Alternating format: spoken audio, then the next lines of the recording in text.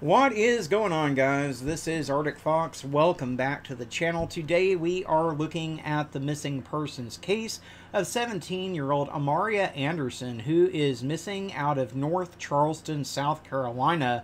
A'Mauria has been missing since the 4th of April 2023. A'Mauria is 5 foot 2 inches tall and weighs 125 pounds with blackish brown hair and brown eyes.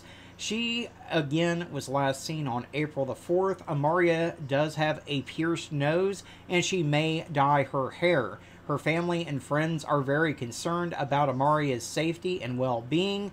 Anyone with information on A'Mauria or her whereabouts is asked to contact the North Charleston Police Department at 843-743-7200 or the National Center for Missing and Exploited Children at 800 The Lost.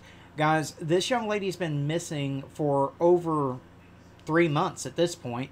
Uh, you know, we need to get her face out there. Unfortunately, there is no Amber Alert for A'Mauria at this time. So we are going to have to be her Amber Alert. What I need you guys to do is to give the video a like. It does help more people to see A'Mauria's face. And the more people that see her, the better the chances are that we can find her and bring her home safe.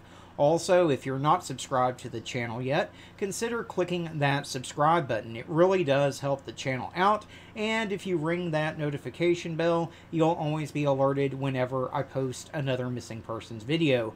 But the most important thing that I need for all of you to do right now is to simply click that share button, guys. Share this to your Facebook, your Twitter, your Instagram, wherever you have social media. It only takes a second of your time to do, and it can make the difference in the world in whether we're able to find A'Mauria and bring her home safe or not. As always, guys, I do want to thank you so much for tuning in and watching. I appreciate each and every single one of you. Y'all be kind to one another out there, and let's bring A'Mauria home safe.